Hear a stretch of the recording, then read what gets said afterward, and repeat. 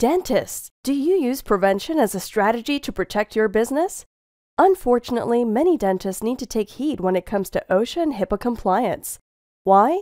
Because we all know that it's easier to stop something from happening rather than to repair the damage after the fact.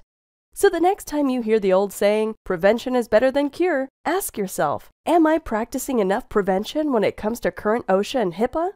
If the answer is no, this is the perfect time to brush up on current requirements for OSHA and HIPAA.